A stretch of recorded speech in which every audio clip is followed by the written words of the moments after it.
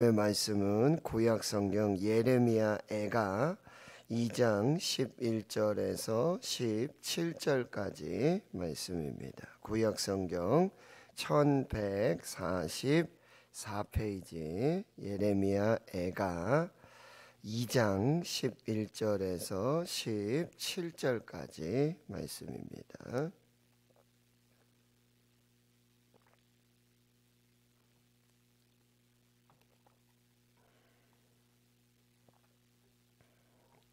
예레미야 애가 2장 11절에서 17절까지 하나님의 말씀을 함께 읽도록 하겠습니다. 시작. 내 눈물이 내 눈이 눈물에 상하며 내 창자가 끊어지며 내 간이 땅에 쏟아졌으니 이는 내 딸 내 백성이 패망하여 어린 자녀와 젖 먹는 아이들이 성읍 길거리에 기절함이로다 그들이 성읍 길거리에서 상한 자처럼 기절하여 그의 어머니들의 품에서 혼이 떠날 때에 어머니들에게 이르기를 곡식과 포도주가 어디 있느냐 하도다.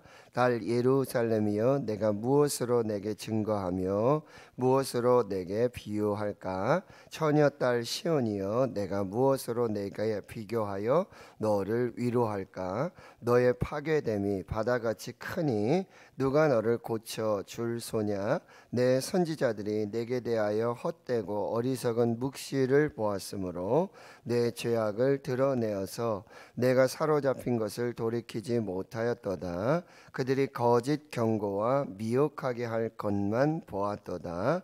모든 지나가는 자들이 다 너를 향하여 박수치며 날 예루살렘을 향하여 비웃고 머리를 흔들며 말하기를 온전한 영광이라 모든 세상 사람들의 기쁨이라 일컫던 성이 이 성이냐 하며 내 모든 원수들은 너를 향하여 그들의 입을 벌리고 비웃고 이를 갈며 말하기를 우리가 그를 삼켰도다. 우리가 바라던 날이 과연 이날이라 우리가 얻기도 하고 보기도 하였다 하도다. 여호와께서 이미 정하신 일을 행하시고 옛날에 명령하신 말씀을 다 이루셨으며 긍휼히 여기지 아니하시고 무너뜨리사 원수가 너로 말미암아 즐거워하게 하며 내 대적자들의 뿔로 높이 들리게 하셨도다. 아멘. 예, 계속해서 예레미야는 이 예루살렘 또 유다의 이 바벨론으로 말미암는 이 멸망과 심판 앞에 그 참상을 계속해서 말해주고 있습니다. 11절에 보면 내 눈이 눈물에 상하며 여기서 상하다라고 하는 표현은 끝나다라는 표현이에요. 그러니까 이 눈이 눈물을 하도 흘려서 눈물로 기도하다 보니 이 눈이 상할 정도로 눈이 염증이 생기거나 뭐 눈에 이렇게 문제가 생겼을 때 굉장히 불편하고 참 힘든 그런 상황을 우리가 볼 수 있습니다. 내 눈이 눈물로 시력도 여러 가지 그 눈의 상태가 좋지 않다라는 의미고요. 내 창자가 끊어지며 내 간이 땅에 쏟아졌으니 참 너무나 마음과 또 몸과 그리고 육체의 연약함 이 모든 슬픔의 그런 상태를 우리가 볼 수 있습니다. 그 이유는요. 이는 딸 내 백성이 패망하였다. 그리고 이제 전쟁에서 지게 되면 굉장히 그 어려운 그런 상황들은 바로 여자 그리고 어린이들 그들이 전쟁에 정말 힘이 없고 연약하다 보니 모든 위험들과 그 악함들에 노출되어지게 되는 거죠. 여기에도 보면 어린 자녀와 젖 먹는 아이들이 성읍 길거리에 기절함이로다. 예, 어린 아이들 또 젖먹이들 성읍 길거리로 내버려져서 거의 혼절 상태가 되어지는 것이죠.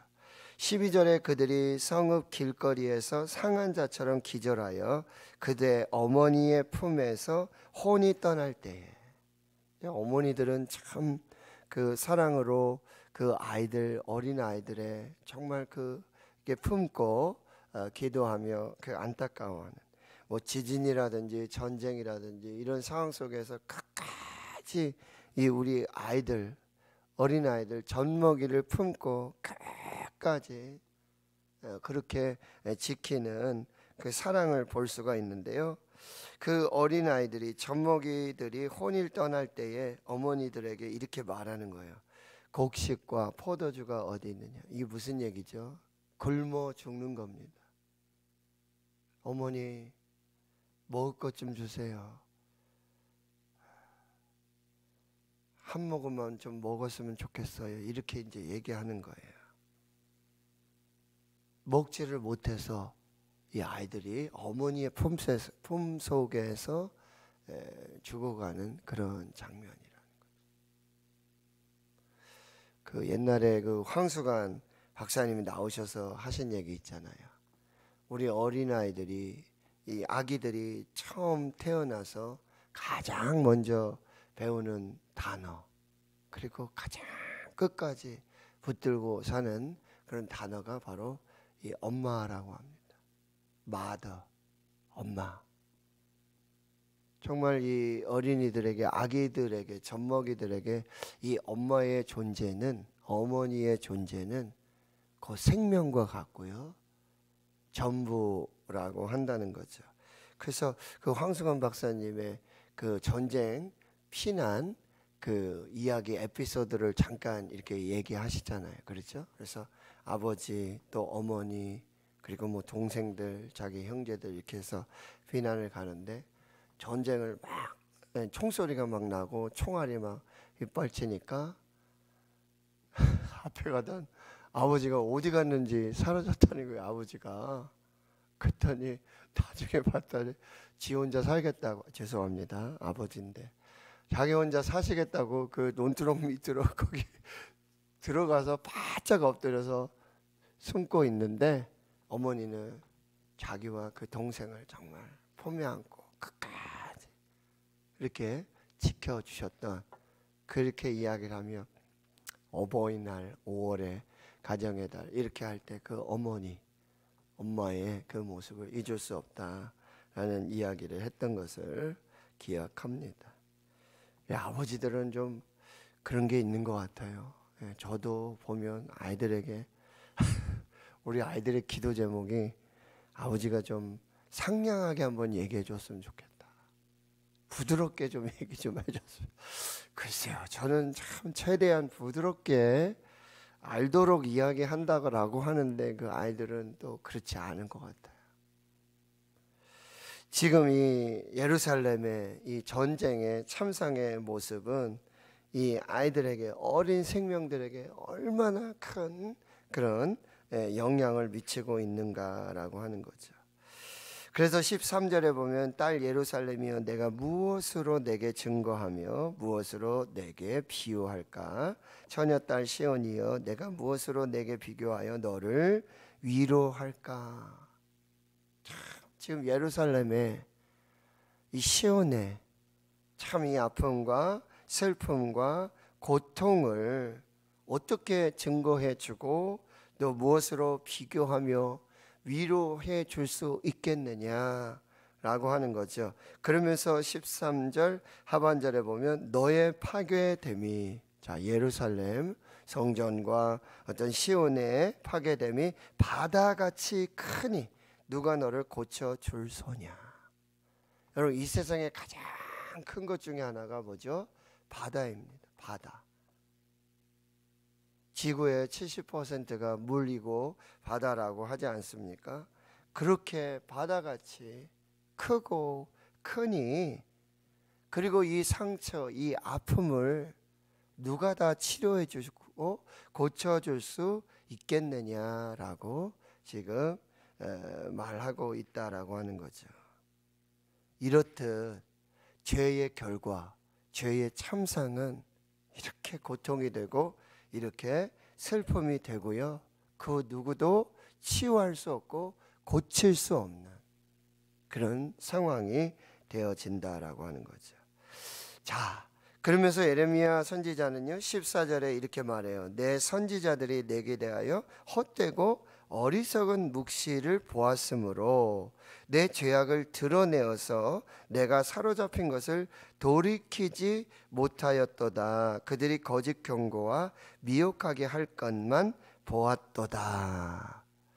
자, 예루살렘이 이렇게 멸망하고 패망하고 성전이 무너지고 시온이 이렇게 황폐하게 된 이유 중에 하나는 이 지도자들의 문제였어요.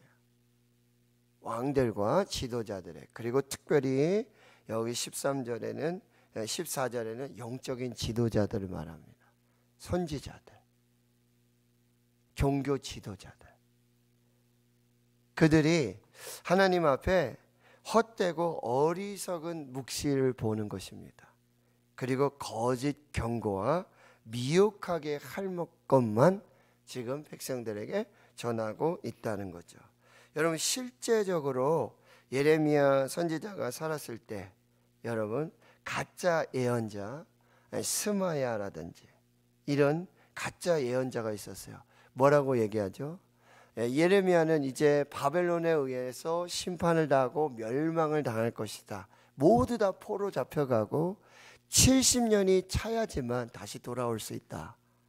이렇게 하나님의 말씀으로 예언을 합니다. 그런데 동시대의 가짜 예언자 스마야는 뭐라고 얘기했죠? 어, 포로 잡혀갈 거다. 예, 바벨론에 의해서 심판을 받고 멸망을 받을 것이다. 근데 2년이면 돌아온다. 2년. 그 백성들이 누구의 말을 듣습니까? 왕들이 지도자들이 누구의 말을 들어요? 2년이면 끝난다. 여러분 코로나에 어떻게 보면 전 세계 미친 재앙 중에 재앙이지 않습니까? 코로나가 시작될 때 정말 마스크를 쓰고 그리고 교회 이제 모이지 말라.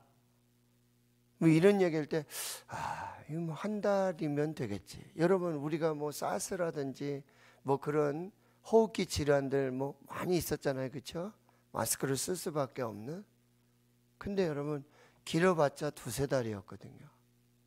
그 정도면 될 줄 알았어요.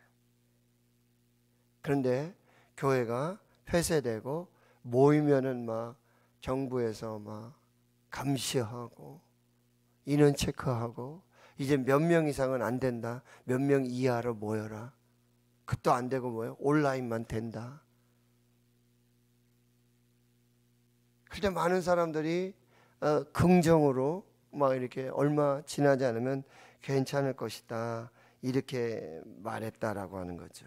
당시 예레미야 시대에 이 거짓 선지자들 이들은 헛되고 어리석은 묵시를 보면서 거기에 하나님의 말씀이 있냐, 그게 하나님의 진리 있냐, 계속된 거짓 경고와 미혹하게 할 것만 이야기하고 있다는 거죠. 바벨론의 심판 있을 것이다. 근데 곧 끝난다. 2년이면 끝난다. 이렇게 세속주의와 기복주의와 황금 만능주의를 말하는. 지금 우리 시대에 똑같습니다. 옥회자들이 주의 종들이 어떻게 하면 부자가 되나 어떻게 되면 잘 사나 어떤 관계를 하면 좋은 관계 맺고 있는 이런 복음이 아닌 십자가의 복음이 아닌 고난이 아닌 아무든지 나를 따라오려거든 자기를 부인하고 자기 십자가를 지고 나를 따르라. 십자가의 길 순교자의 삶. 이런 얘기 안 해요. 어떻게 하면 복을 받을까? 어떻게 하면은 예? 돈을 벌 수 있을까? 어떻게 하면은? 이 기복주의와 세속주의, 황금 만능주의 결국 이들이 어떻게 됩니까? 그 거짓 묵시를 따르고 심판의 경고를 무시하게 되는 거죠. 하나님께서 계속해서 심판의 경고를 주시는데 그런데 그 책망의 말씀을 안 듣고 귀에 듣기 좋은 말만 듣는 거예요. 그 선지자들만 따라가는 거예요. 거기만 모여요. 거기만 아주 넘쳐나게 된다라고 하는 거죠. 그러면서 뭐예요? 이 심판의 경고를 듣지 못하니까 회개의 기회를 놓치고 결국은 하나님의 심판 앞에 직면하게 되어진다라고 하는 거죠. 예수님도요. 마태복음 27 23장에 보면은 아주 그 한 장을 전체 할애해 가지고 화 있을진저 서기관들과 바리새인들이야. 일곱 번의 화를 명하 화 있을진저 서기관들과 바리새인들이야. 당시에 종교 지도자들을 향해서 엄청난 심판의 메시지를 선포하고 있다는 거죠. 반면에 예레미야는 눈물로 회개를 선포해요. 하나님께로 돌아와라. 하나님의 심판이다. 하나님의 멸망이다. 회개하지 않으면 안 된다. 돌아와라. 여러분 세례 요한이 전하였던 가장 첫 번째 메시지가 무엇입니까? 회개하라. 천국이 가까이 왔느니라. 회개하라는 이 하나님의 심판의 경고의 메시지를 듣지 않는다라고 하는 것이죠. 그러면 이 시대에 하나님의 종들은 무엇을 해야 되는가? 하나님의 말씀을 제대로 받아서 정말 진리의 말씀 이 시대 이 코로나 팬데믹 시대에 여러분 우리는 이건 호흡기 질환이고 뭐 어떤 바이러스고 이렇게 여러분 우리가 생각할 수 있어요. 그냥 기후가 변하고 어떤 상황이 환경이 변하고 그럴 수밖에 없는 뭐 이렇게 우리가 생각할 수 있어요. 근데 우리가 이 어떤 영적인 배경들, 이 영적인 전쟁들, 영적인 상황들, 이것들을 우리가 잘 분별해서 살필 수 있는 영적인 분별력과 영적인 지각이 있어야 한다는 거예요. 그냥 모이지 말라 그러니까 예배 안 드려도 된다니까 집에서 드리고 TV 모니터로 온라인으로 그냥 다 내가 예배자가 됐고 내가 다 신앙생활 다 한다. 성도님들이 이제 어떻게 되냐면 그게 익숙해지니까 좋은 거예요.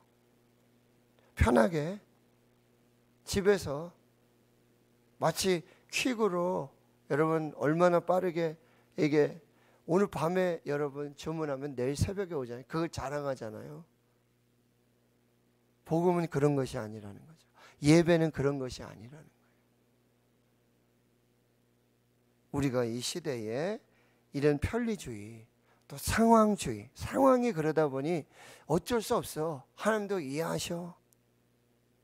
이런 부분들을 우리가 잘 살펴야 하겠다라고 하는 것입니다. 그러니 여러분 이 선지자들의 헛되고 어리석은 묵시 그리고 내 죄악, 우리의 죄악을 보지 못하니까 거짓 경고와 미혹하는 영에 사로잡히게 되니까 결국 심판의 기회, 아, 회개의 기회를 얻지 못하고 하나님께 돌아가지 못하고 그 경고를 무시하면서 그렇게 지내다 보니까 15절 같은 상황이 벌어지는 거예요.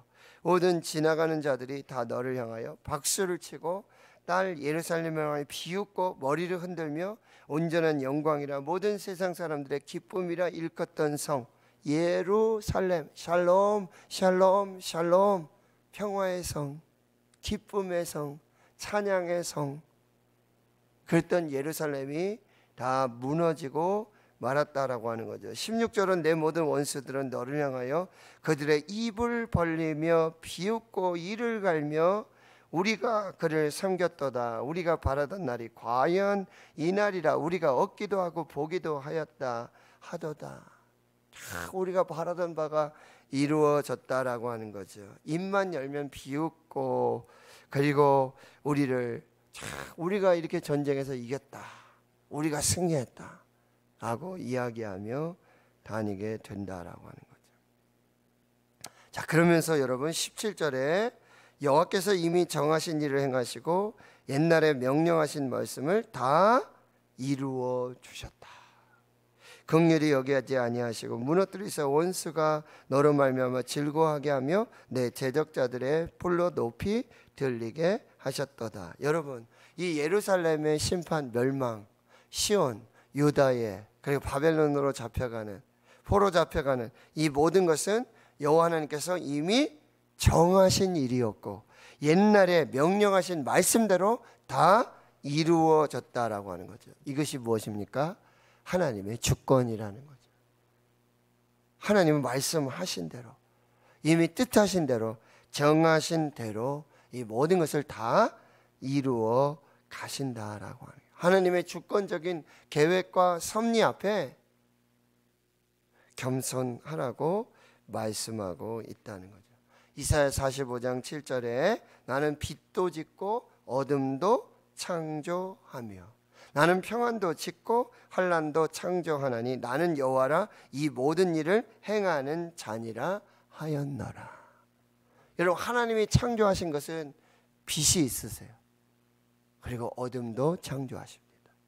평안도 창조하시고 환란도 창조하십니다. 이 모든 들의 일들의 주권을 이 모든 것의 섭리가 하나님 앞에 있다라고 하는 것입니다. 자, 결론입니다. 여러분 이 시대에 참 선지자 하나님의 선지자 하나님의 메시지 하나님의 경고 잘 분별하셔야 돼요. 사람의 말을 듣지 마시고 하나님의 말씀을 들으십시오. 다시 말씀으로 돌아가요. 다시 말씀 앞에 서야 돼요. 다시 복음 앞에 서야 돼요. 그 복음은 무엇입니까? 십자가입니다. 고난입니다.